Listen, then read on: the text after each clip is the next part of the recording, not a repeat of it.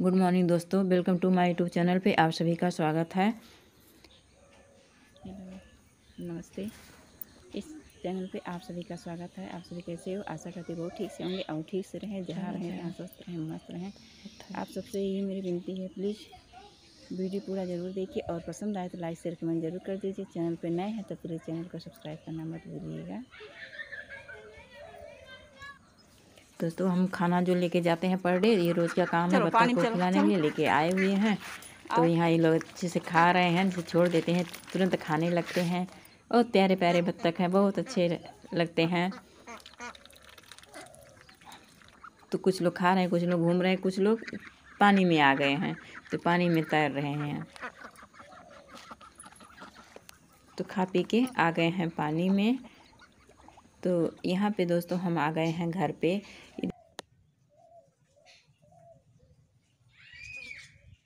खेत खरियान का सीन है दोस्तों। बहुत अच्छा लग रहा है, बहुत बढ़िया हरा भरा है।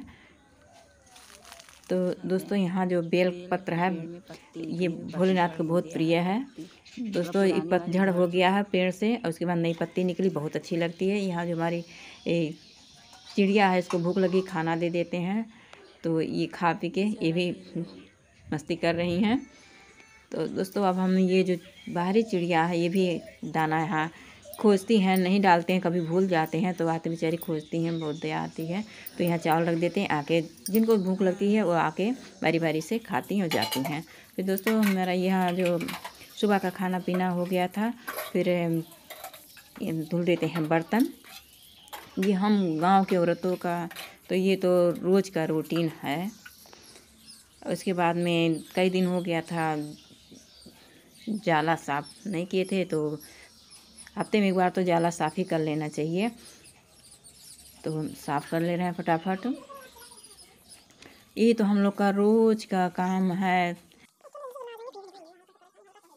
चाहे जैसा घर हो, लेकिन अपना घर तो साफ़ सुथरा रखना चाहिए, जितना हो सके साफ़ सफ़ाई करनी चाहिए। दोस्तों, ये हम काला नमक है धुल के, सुखवा के सिलबट्टे से हम पीस लेते हैं। कुछ लोग जो मिक्सर है, वो तो मिक्सर से पीस सकते हैं, हम तो सिलबट्टे से ही पीस लेते हैं, पीस के इस डिब्बे में भर के रख देते हैं। जब भी ज़रूरत पड़ेगी तो पीसना नहीं पड़ता बार बार को पीसना अच्छा नहीं लगता है तो पीस के रख देंगे तो जब भी ज़रूरत पड़ेगा प्रयोग किया जाएगा। तो तो काला नमक खाना ही चाहिए। कुछ लोग बताते हैं ये अच्छा होता है। पेट का फ़ायदा करता है तो जान के तो अच्छी चीज़ खानी चाहिए, जो फ़ायदा करे वो खाना चाहिए। तो दोस्तों, आज हम पुरानी यादें नहीं कर रहे हैं। ये हमारे नानी दादी की ज़माने का चीज़ है सरसों हल्का सा भून के फिर हम पीसेंगे। इसको गाँव के भाषा में हम हम सभी लोग उपटन के नाम से जानते हैं, लेकिन गाँव में इसको बुकवा बोला जाता था। तो अब तो बहुत कम लोग इसको प्रयोग करते हैं, लेकिन हम पुरानी यादें आप सभी के भी शेयर कर रहे हैं, जैसा कमेंट मुझे ज़रूर बताइएगा, और गलती होगी तो माफ़ कर दीजिएगा। तो भून के थोड़े से हल्दी और सरसों पीस लेते हैं, पानी छोड़ के पीसेंगे, इतना महीन पीस सकेंगे, उतना महीन पीसेंगे।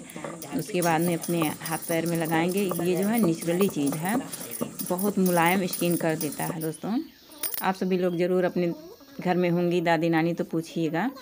तो अपने बच्ची को हाथ में लगाए हुए देखिए दोनों हाथ स्किन दोनों हाथ के स्किन कितना फ़र्क हो गया मुलायम हो जाता है अच्छा भी लगता है। ज़रूर ट्राई कीजिएगा दोस्तों हम बस इसके बाद लगा लेते हैं फटाफट झाड़ू।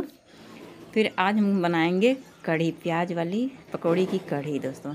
तो खेत में प्याज तैयार हो गया है खेत से ले आते हैं। घर के बगल बैठाए हुए थे वीडियो में आप सभी लोग देखे होंगे जो हमारे पुराने सब्सक्राइबर हैं वो देखे होंगे इसकी हम खेत की प्याज बैठाए हुए थे, सिंचाई करते थे, घास निकालते थे, वीडियो छोड़ते थे, देखे होंगे, लेकिन आज फ़सल तैयार हुई, बहुत अच्छा लग रहा है। तो आज हम बनाएँगे कढ़ी पकौड़ी, कढ़ी।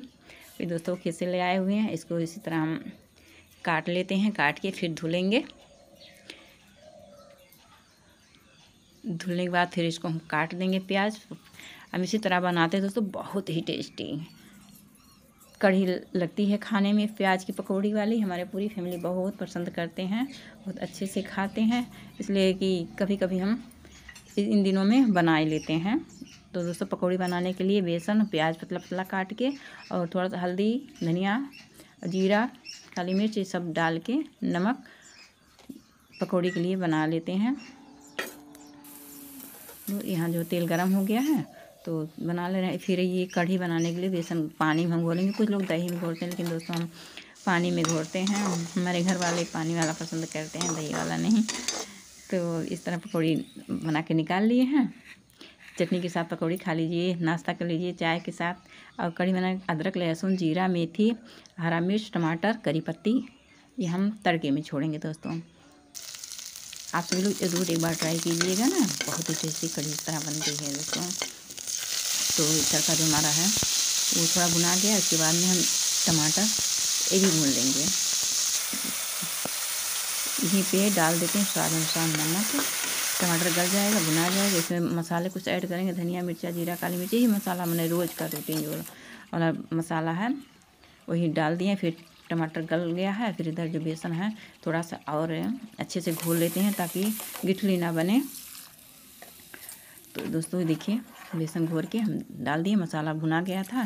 फिर जितना पानी ज़रूरत है उतना हम पानी डाल दे रहे हैं। कटोरी में थोड़ा सा बेसन लगा हुआ था तो बेसन धुल के डाल दिए हैं, थोड़ा और पानी डाल दिए हैं। इसके बाद ढक के पका लेंगे। दोस्तों एक चीज़ ध्यान देनी है कि मीडियम आँच पे पकाना है नहीं तो उबल के गिर जाता है। तो इसको बीच बीच में देखते रहना है, डार्क हो गया है। तो तड़के लगा लेते तड़के में हींग, करी पत्ती, मिर्चा जीरा ये हम तड़का में छोड़े हैं। दोस्तों लगा लेते तड़का। अब आप सभी को ये हमारी प्याज वाली कढ़ी की रेसिपी कैसी लगी? तो इस अच्छी लगी हो तो लाइक शेयर कमेंट ज़रूर कर दीजिए। चैनल पर नए तो सब्सक्राइब करना मत भूलिएगा। अब मिलते हैं अगले वीडियो में। तब तक के लिए नमस्कार बाय बाय टेक केयर